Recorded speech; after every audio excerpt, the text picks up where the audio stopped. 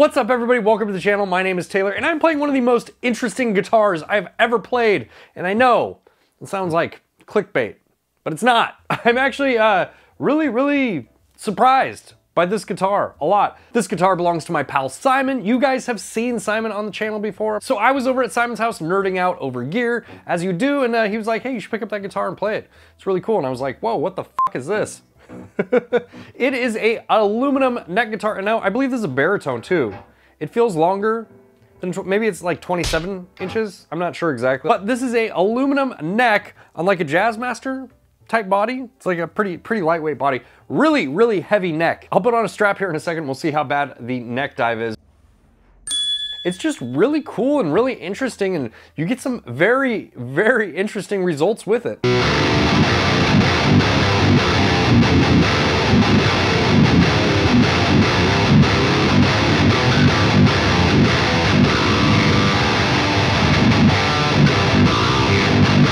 Now, if you're wondering why there's a cabinet here and there's no head, don't, don't worry about that. This cabinet is just hiding some boxes, some clutter that I have in this room. I'm playing through a plugin right now. It's a Bogren BDH3. It's like the 5153 amp knob plugin. Now, I'm not doing that for any particular reason, but one of the advantages of doing it this way is I thought I would be able to show you some DI tracks from this guitar, you know, because it's pretty unique how it sounds.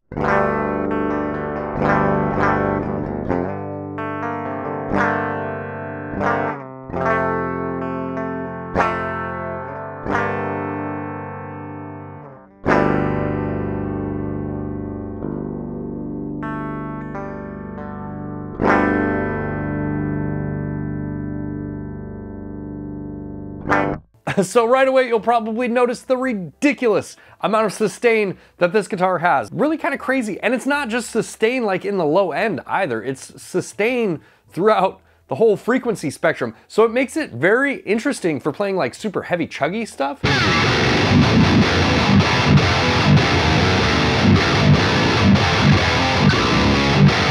I don't know, the way everything bleeds together, it just, it sounds really like tight and percussive and in your face, but also like the resonance and the sustain is just crazy with it. Now, while I have this guitar on loan, I did want to try and write a song with it. This is something I'm trying to do more and more here on my channel, and I am releasing those on Spotify. So if you don't follow me on Spotify or whatever less likely music service you listen to, like Apple Music, Amazon, iTunes, I don't know. If you don't follow me on those places and you like my demo songs, make sure you are following me. There's a link to my Spotify down in the description below. If you use another service, just search my name. I'm sure you will find me, but there's a link for the Spotify down below. Uh, here's the song I made with the thing.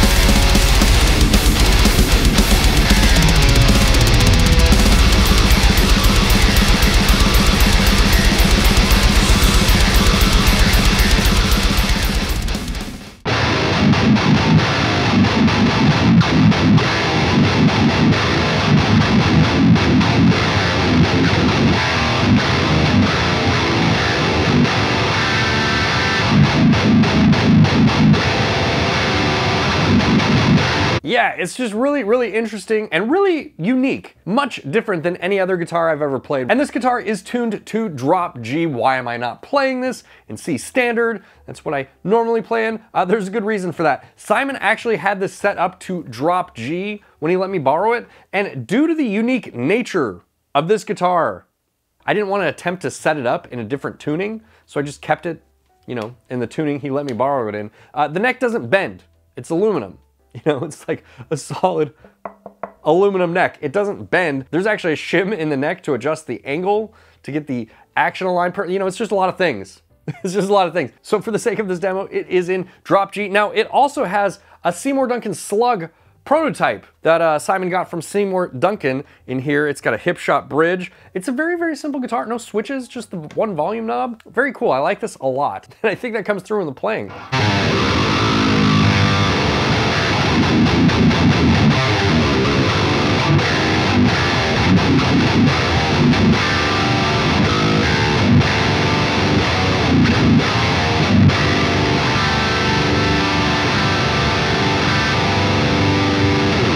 Now, when it comes to the feel of the guitar and playing the guitar, it actually is very comfortable, surprisingly.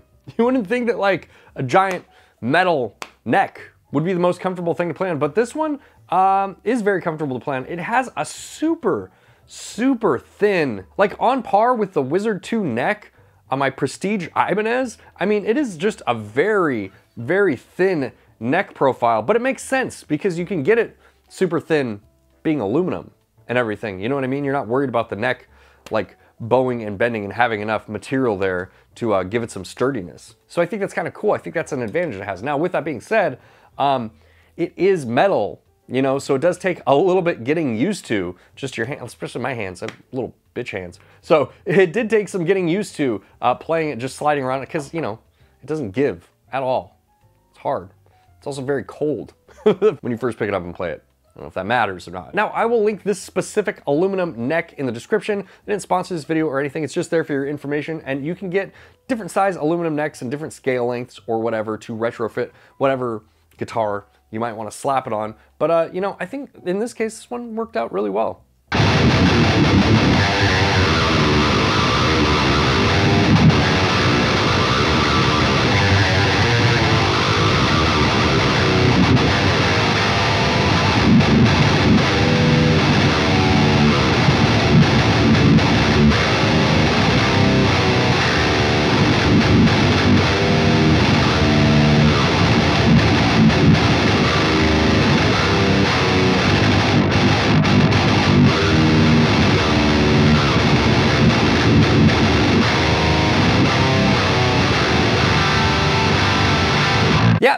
Actually like kind of shreddy, dude.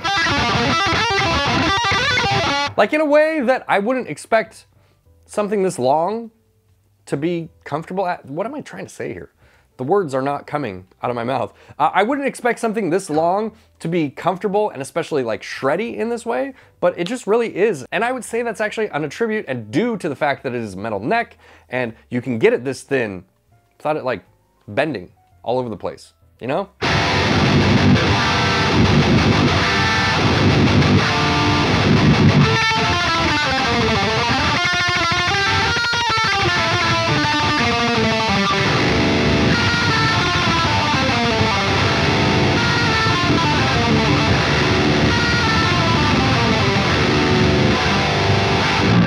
That, it's just very interesting the way like even the high notes just have more sustain and the way they kind of like bleed together. It's just very like uh, rich and musical, I guess, are the words that are coming to mind. I don't know if those best words to describe what I'm hearing, but it's kind of how I feel about it.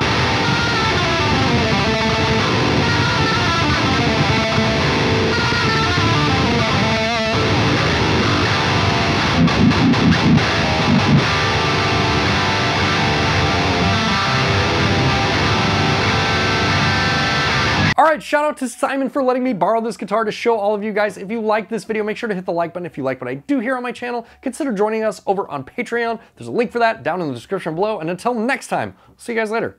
Bye.